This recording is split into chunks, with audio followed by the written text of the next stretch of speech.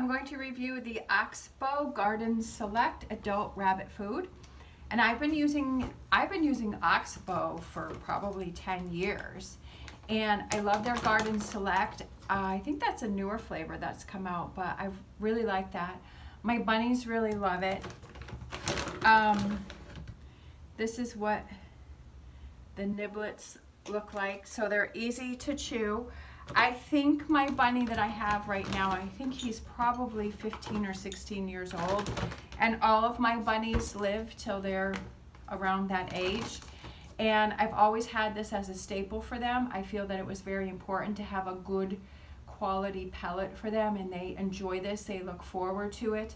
Um, it's always kept their weight on and um, they've never had any problems with it and it's a really good food. I feel really happy about feeding it to them. I think I had used the Timothy hay one before, but now we've moved to the Garden Select.